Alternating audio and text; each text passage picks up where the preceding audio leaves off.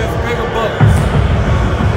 Quote unquote. They don't want no balls in that football they gonna see. Tell them to go coach them kids at the high school.